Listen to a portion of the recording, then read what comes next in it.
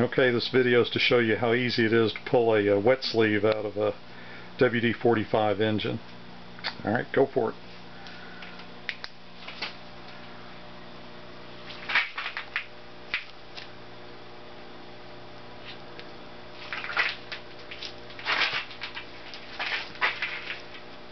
I don't know, it's not that easy to make.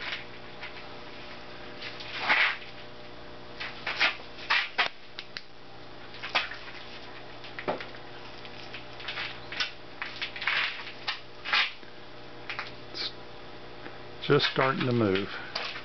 Oh, it's just starting. And once it pops out, it gets easier and easier. Yeah, it's moving.